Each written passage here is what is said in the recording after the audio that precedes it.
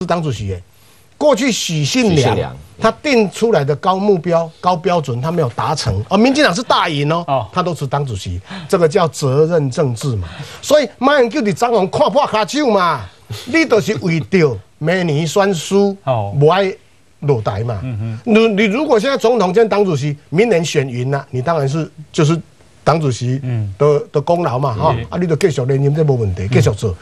选输哈，一个政党的党主席为了选输负责任，这个是民主常态啊。嗯，那你为什么昨天要修这个法？看起来昨天整个全代会就是这个法，嗯，其他的都不重要总统兼。任党主席，你讲那个什么居住正义、食品安全，是你未来要努力的愿景。什么改革再升级、团结更壮大，这个是没有人真的没有人记得住啊。你就你就是要提通过这个案子而已嘛。马英九现在太怕了啦，哈，他那个鸡蛋跟鞋打到他是不会把他打死的，可他怕，所以呢，下面的人拉网他也没讲话，让他越拉越密。嗯，明年二零一四，我先假设输哈，我就不要先不要讲赢，输，明年二零一四国民党输，嗯，他会不会下来？不用，我先讲国民党有没有这个机制？刚才委员讲的没有，国民党并没有选输选举党主席下台负责的这种政治惯例，嗯没有。的确，李登辉在两千年的时候，刚才看到马英九被丢鸡蛋，因为他跑去景福门前面，因为他说第一次丢到政权嘛，后来跑去啊李登辉那边按按门铃说总统啊你滚啊，没有见到，大家被视为逼宫，可其实是连战后来叫他越快越好下来。李登辉觉得说我心灰意冷，我被造啊，李登辉自己走的哦，不是党的机制让他下来，也就是说明年就算国民党输。马英九也未必会下来，他可以叫秘书长请辞就好啦。曾永权立的负责的话，以前他也不是没输过，叫张春博离开，进行补充回来接嘛。但他还是非得挂这一条，而且他要跟人家讲说，因为不能有两个太阳，因为是基层自己提上来的案子，不是我啊，我还限缩一年啊，我等于是自宫啊。其实他不是自宫，他就是自保，而且他不讲清楚。我先讲大家一个很重要的一个一个一个观念哦，他昨天 如果这三个东西你都不要处理，讲说虽然国民党没有请辞就下台的惯例。我在这边宣布，明年二零一四要输的话，我就辞党主席，全场都拍手了啦。而且他马上13%变12%对他马上会上来，而且可能不可能不止十二趴，因为排投投给他票的人会觉得说回来了嘛，回来了。哦是是大师兄二师兄都回来，有 guts。会有向心力，而且国民党因此还说不定打跟民进党打平盘不会输哦。嗯可他不敢讲这个，然后大家讲说，哎，卖共啊，失败主义。刚才林焕哥讲的那就是我内心的话，国民党被马英九绑架了。嗯嗯，因为大家昨天在开会的时候，包括王金平的案子都不要了，不要了，以以党为重，卖好卖好严处民进我靠狼蛋一下，不要给他们看笑话，大家就都好好相忍为国，相忍为党，相忍为主席。可是问题是马英九他没有讲这个话，马英九他打顺手牌。两千零五年是他刚刚选上党主席，把王金平平的那一年。气势，这个这个这这阴阴气焕发，他明明一看知道不不可能一不过半半嘛，对啊。那他跑到周习伟的总部去喊，如果没有过半我就下来，还是很有效果啊。那个时候大家记得，两千零五年是阿扁当总统哦，所有国民党的选民从两千年到两千零五年这五年都是一直看着民进党执政。我也希望我们国民党可以执政的情况之下，怎么可以让？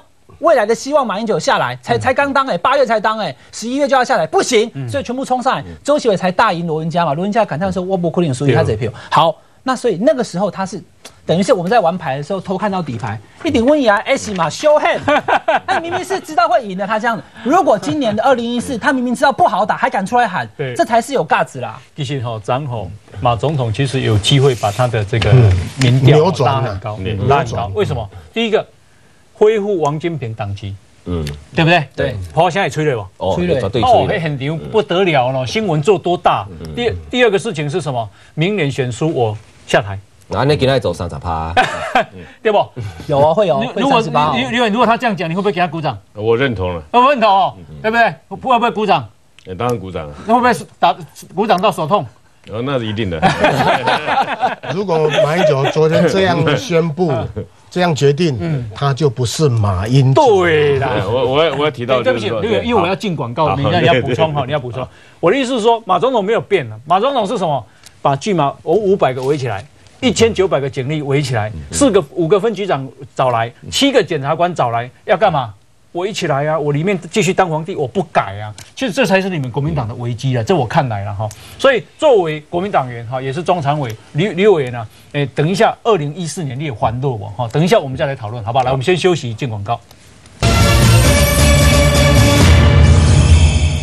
好，我刚刚说啊，马总统错失了绝佳的机会，让他的民调翻转。好，他只要昨天说我这个啊、拼了命哈、要来保护这个王金平的恢复王金平的党籍，对不对？第二个事情是二零一四选输了，我负责下台啊，党主席辞掉。嚯、李委员说以破以迄个手吼，会安尼拍到吼，怎么起昂起来哈啊？这个 哈李委员，二零一四你会不会担心？呃，二零一四照目前这样的情况来看，确实是蛮担心的了哈。对党内这个选举，不过二零一四它主要这个七合一选主要还是地方选举了。那依照呃目前我们所呃的观察跟一些部分的民调来看哈，其实国民党的基本盘啊还是还在的，呃，并没有像想象中这么悲观呐啊。那当然啊，如果要好呃好有胜选的几率比较提高的话，我想拼经济啊才是正道，让人民有感啊。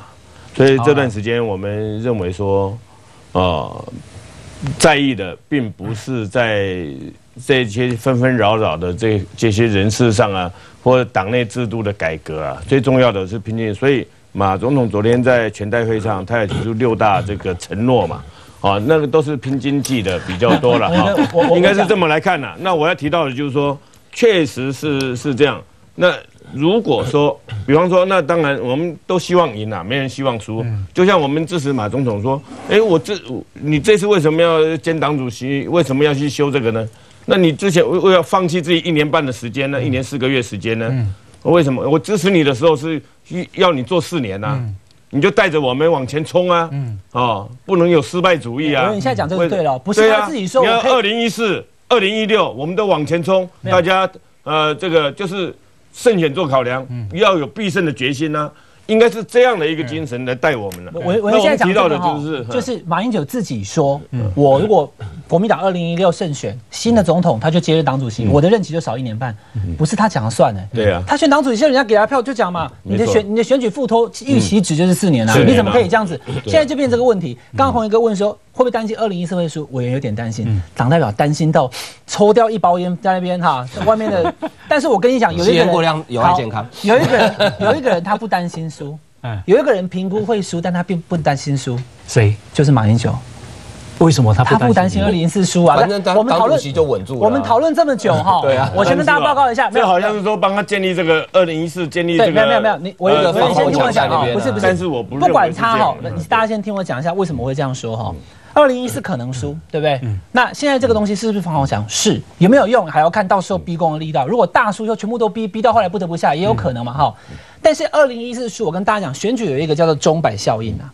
现在明明国民党的民调这么低，那刚刚委员讲到重点了，这叫地方选举。就算我台湾一半以上的县市全部输光了，下一个更重要的选举，马英九最在乎是二零一六的总统，那个总统一定要是他的人。我就最相信中年晃，他一定要选上，我一定让他选上，选上以后我 happy 四年。所以就算我二零一四的县市长选举没有被民进党抢了，民进党好高兴哦，那才是中百效应的开始。当民进党抢去那边的时候。南军的选民 六百八十九万的选民，在这一次二零一四没有支持马英九的选民会想说，那我们二零一六还要让国民党再输吗？反而摆回来，这才是马英九想要看到的。